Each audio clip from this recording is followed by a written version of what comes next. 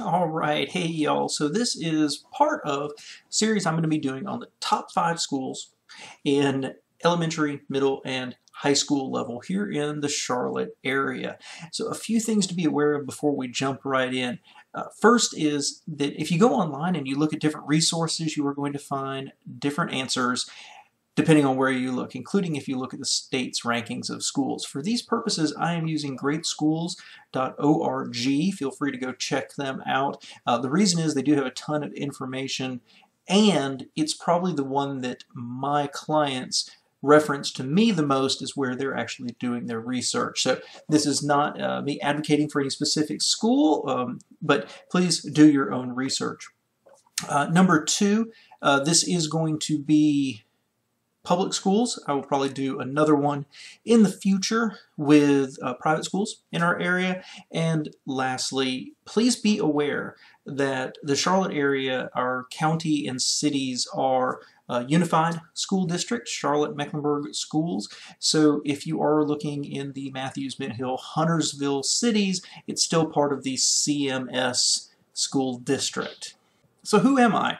Uh, my name is Jon Patrick. I'm a full-time realtor here in the Charlotte, North Carolina area, and I have lived here for over 40 years, and I absolutely love it, and I love introducing people from all across the nation to our fantastic area and helping them put down roots here in Charlotte. So if I can help you, I encourage you, give me a call right now at the number below.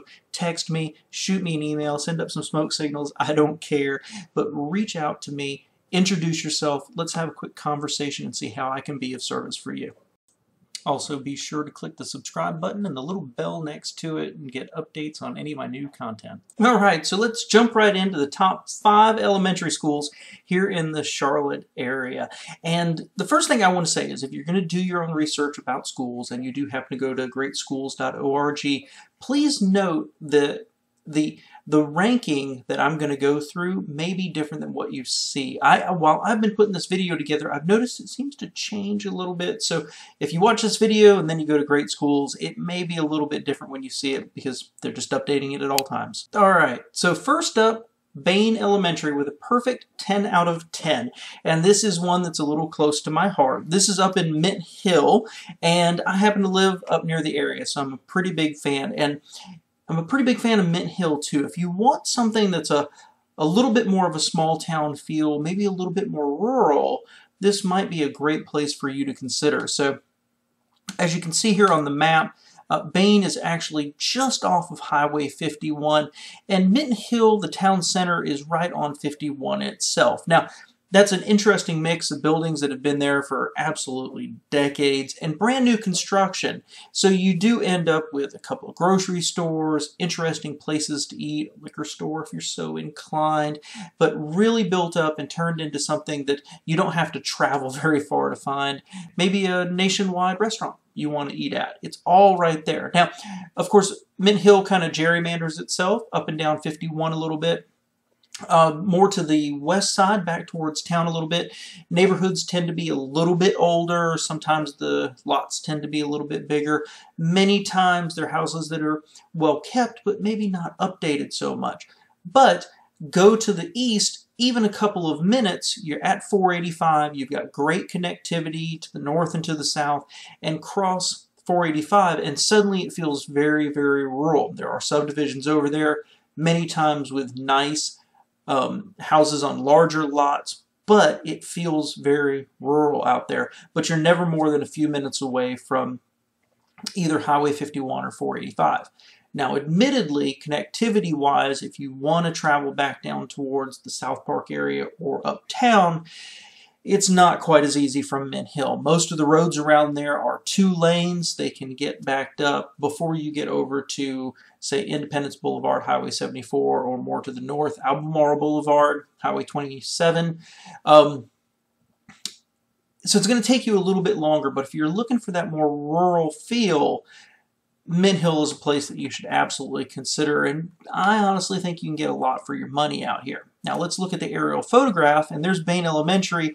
It's, uh, you know, hundreds of yards at most away from Highway 51 there to the left, and honestly from this location, you're probably not I don't know, three minutes or something like that away from I-485. But you can see it looks like it's rural. It looks like it's surrounded by not much of anything, and it kind of feels like that when you're out there. All right, next up is Olde Providence Road. This is scoring a 9 out of 10 on goodschools.org. And you can see here from the aerial photograph, it is surrounded by established subdivisions, lots of tree canopy. To the west, you've got more shopping, restaurants, things like that, nice neighborhoods. To the east, you've got more neighborhoods, but you've also got Providence Road, which takes you either down to 485 or up north towards South Park and the downtown area. I did a quick search this morning, and prices in this area serving this school range from about 235 to over $3 million. So there's something almost for everybody, especially if you're looking at homes that are built in the 60s, 70s, or 80s. Maybe need a little updating as well. All right, number three on our list with a 9 out of 10 score is Park Road Montessori. Now, as you can see here from the aerial photograph, it's surrounded by subdivisions. And as you can see here from the maps view, it is much closer to downtown. This is a highly desirable area because of its connectivity up to uptown.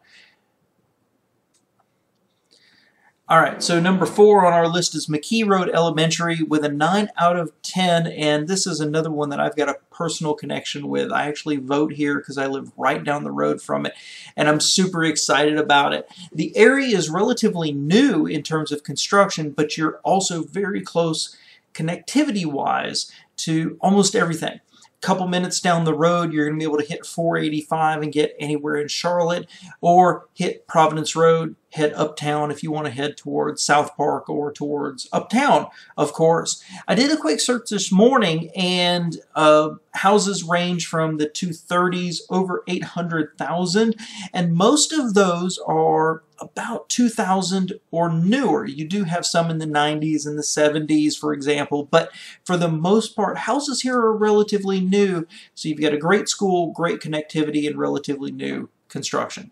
And finally, number five on our list with 9 out of 10 is Hawk Ridge Elementary down in the Ballantyne area. Now, as you can see from the aerial photograph, it's close to one of our top rated middle schools, um, Community House.